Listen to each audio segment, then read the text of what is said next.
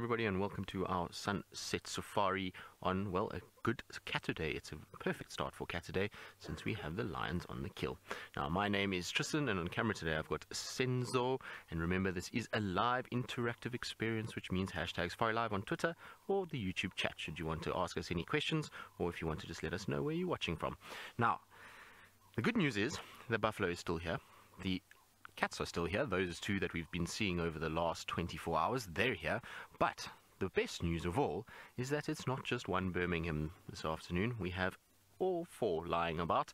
The rest of them are behind me, lying in some thickets. We don't really have a visual of them now, but I'm sure as the afternoon wears on, so they will meander in and start to feed off the carcass. You can see the carcass is still full, full, full, full. They have hardly touched it during the night, so the addition of the three boys that arrived here at about 5, 6 o'clock this morning means that I would imagine this evening there might be a little competition over the carcass. So it's going to be a wonderful afternoon to spend with our Birmingham boys and our Nkuhuma Lioness. Funnily enough, our Nkuhuma Lioness only just arrived back. She's been away the whole day. They said this morning she left and she went towards the Cubs, and she's only just got back as we arrived here, and so that's why she's tucking in and feeding so much. It's also the conditions are absolutely perfect for a lioness to feed. It's cool, it's overcast, there's no hot sun bearing down on this lioness. She doesn't have to worry about the heat, and so she can really get in, stuck in, and consume as much as possible and keep that nutrient level up for the milk that she's giving her cubs.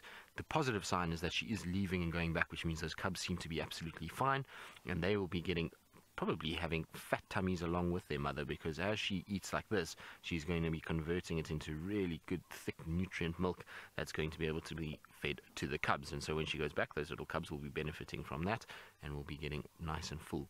Now, I don't suspect that we will see her um, moving back towards the cubs anytime soon. Now that she's here, I'm sure she's going to have a really good feed. And if she's just come from suckling them, then she knows that she can spend some time in this area. So she's really going at the carcass, she's going to get as much food as possible.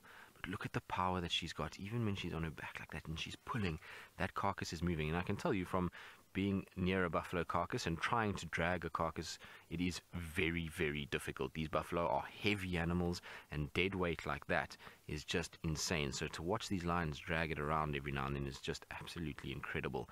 You can see Nsuku in the background, he's passed out at the moment. He's really not interested in what's going on. He's tired, sleepy, He's walking fine though, which is the good news. So for those of you that were worried about him yesterday when he was limping, this afternoon he got up and he walked over to the grass where he is now, and there was no discernible limp at all. So he's looking okay. There's the wound that we were talking about, just under the armpit. And it's not going to be a very nice place to have a wound. It's going to rub a bit raw as he walks around and probably get a bit irritated, but he should be okay. Like I say, there's no sign of any injury to the leg itself. And so just like the Nkuhuma female with her hole in her tummy, it's just about time and waiting for it to heal. But you can actually hear her breathing. Isn't that cool? It's amazing to actually hear her. Now, I'm not the only one out here on this beautiful Catterday. There is another member of our team, the one who's got a bad back, and now we've decided we're going to call him Brokeback Byron from now on. So let's go across to him so he can say hello.